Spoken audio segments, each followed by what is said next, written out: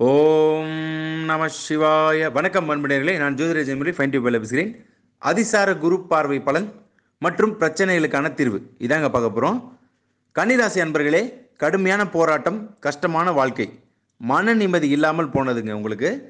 இந்த கஷ்டமான சூழ்நிலையில் கடந்து வந்து புயலுக்கு பின் அமைதி எப்போ தான் வரும் என்று காத்திருந்த உங்களுக்கு ஒரு சிறிய அளவில் மாற்றம் உண்டாகுங்க. ஆமாங்க. அதிசார குரு பகவான் இம்மாத இறுதியிலிருந்து உங்களுக்கு நிச்சயமாக உங்களுக்கு ஒரு நன்மை அளிக்கப் போகிறார். அதற்கு முன் சனி பகவான் அர்த்தாஷ்டம ஸ்தானத்தில் அமர்ந்து அல்லல் படுத்தி விட்டார் உங்களை. சொந்த உறவுகளால் அவமானம் ஏற்பட்டது. உடன் இருந்தவர் கூட நம்பிக்கை துரோகம் செய்தார்கள். முக்கியமாக வெளியே சொல்ல முடியாத அளவுக்கு கடன் பிரச்சனைகள். நடுக்கடலில் தத்தளித்து கொண்டிருந்தீர்கள். நீங்கள் சொன்னவாறு போதுமடா சாமி நான் பட்ட பாடு. என்ன வாழ்க்கை இது? மாயம் பொய் என்று புலம்பிக் கொண்டிருந்தீர்கள். குழப்பத்தில் இருந்த உங்களுக்கு அதற்கான காரணம். அந்த சனி பகவான் பார்த்தீங்கன்னா சென்ற சில மாதங்கள் நாலாம் இடத்தில் இருந்தாருங்க. அவர் தற்போது ஐந்தாம் இடத்தில் அமர்ந்து சில மாற்றத்தை கொடுக்க போகிறார். பொதுவாக கிரகங்களின் பார்வை பலமும் உங்களுக்கு முக்கியமாக தேவைங்க. அதாவது லக்னத்தையோ ராசியோ குரு பகவான் பார்க்க வேண்டுங்க. அவர் பார்த்தால் அனைத்து தோஷங்களும் நீங்குகின்றன. மகாசுபரின் பார்வையால் அச்சாதகமே யோகமாக மாறுகிறதுங்க. இம்மாதம் இறுதியில் குரு பகவான் அதிசாரத்தில் இடப்பெயர்ச்சி ஆகிறார். அதாவது குரு பகவான் வருகின்ற மார்ச் முப்பதாம் தேதி. அதிகாலை மூன்று பத்துக்குங்க அதிசார நிலையை அடையப் போகிறார். தனுசு ராசியிலிருந்து மகர ராசிக்கு சென்று அமர்ந்து தொண்ணூறு நாட்கள் அங்கே அமர்ந்து உங்கள் ராசியை ஒன்பதாம் பார்வையாக பார்க்க போகிறார். இந்த தொண்ணூறு நாட்கள் அதாவது ஜூன் முப்பதாம் தேதி வரைங்க குருவின் பார்வை மிகவும் நன்மைகள் நடைபெற உள்ளது. நல்ல மாற்றம் வரக்கூடும்.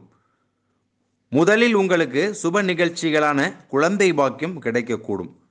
குறிப்பாக கடன் பிரச்சனைகள் படிப்படியாக முடிக்கப்பட்டு மன நிம்மதியை அடைவீர்கள். தற்காலிகமாக குரு பெயர்ச்சி ஆனந்தமாக இருக்க ஒரு வழியை காட்டுவார் குரு பகவான். இது உறுதிங்க. பொதுவாக குரு பகவான் அடுத்தவர்களுக்கு நன்மையை தாங்க அதிகமாக செய்வார். வாழ்க்கையை உங்களுக்கு புரியும்படி கற்றுக் கொடுப்பார். அப்படியென்றால் இந்த தொண்ணூறு நாட்களுக்கு உங்கள் ராசிக்கு ஐந்தாம் இடத்தில் அமரும் குரு பகவான் பூர்வ புண்ணியத்தை வலுவடைய செய்வார். அவர் அங்கு நீச்சபங்க ராஜயோகமாக சனியுடன் இணைவார். பொதுவாக இந்த ஐந்தாம் இடம் ஒருவர் ஜாதகத்தில் வலுவடைய வேண்டும்.